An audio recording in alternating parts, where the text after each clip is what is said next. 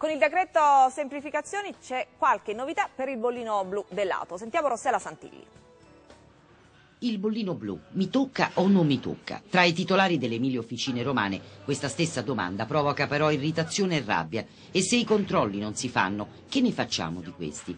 Eccoli, centinaia di tagliandini datati 2012, acquistati dai meccanici con giusto anticipo, pronti per essere attaccati sui cruscotti delle auto che devono passare il controllo dei gas di scarico ma il decreto semplificazioni del governo Monti prevede l'unificazione di revisione e controlli dei gas. E allora i bollini già acquistati è carta straccia. Ogni tagliando è costato 1,24 euro e l'investimento per ciascun autoriparatore è stato in media di 4.000 euro. Quanti bollini le sono rimasti sullo stomaco? Diciamo questi saranno circa 150 tra bollini delle moto, che facciamo sia bollini moto che bollini auto. Adesso che ne fa di questi? Questi momentaneamente eh, l'ADA, che è l'agenzia delle mobilità, che, che gestisce il bollino blu, dice vi riterete, buttate. Lei quanto ha speso? E calcoli che ogni pacchetto in fase, questi qui a pagamento sono 124 euro, perché ne uno è 24 l'uno, mentre, mentre, quelle delle revisioni, che eventualmente sono ancora in uso, sono 174 euro, perché sono pacchi da 100. Quindi la spesa... 1,24 a bollino.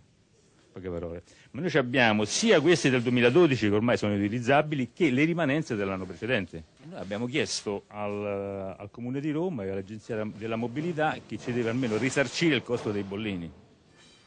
E loro per il momento hanno risposto. Sono andato io personalmente eh, a parlare con questi signori e mi hanno detto no, no, i bollini, gli devo dire, i bollini ve li tenete il comune non risarcisce soldi, non vi risarcisce perché non ha soldi. Ci sono dei colleghi che per, mh, non centri di visione, cioè diciamo officine normali che facevano bollino blu, che per continuare a fare bollino blu con le nuove normative hanno dovuto fare un aggiornamento all'Euro 5. Cioè chi ha speso soldi per fare aggiornamenti, addirittura chi ha comprato attrezzature nuove. E adesso che se ne fa? Niente, che non le possono proprio usare. Dal Campidoglio qualche contatto è arrivato? Sì, abbiamo avuto dei contatti con l'assessorato all'ambiente, dove inizialmente mh, devo dire che non ci ha preso in considerazione. Ci abbiamo avuto un altro incontro che ci hanno chiamato, mi sembra la settimana scorsa, una decina di giorni fa, dove abbiamo esposto tutte le nostre problematiche e loro ci dovevano far sapere qualcosa. Ad oggi ancora non ci hanno fatto sapere nulla. La situazione è davvero ingarbugliata e la Confederazione Nazionale dell'Artigianato ha già in mente una class action, ma intanto si ragiona nelle officine anche su un altro punto. Il decreto prevede che il bollino blu venga fatto solo al momento della revisione del mezzo, sia a quattro che a due ruote, quattro anni dopo la prima immatricolazione e ogni due anni nei periodi successivi. Cresceranno i livelli dell'inquinamento a Roma?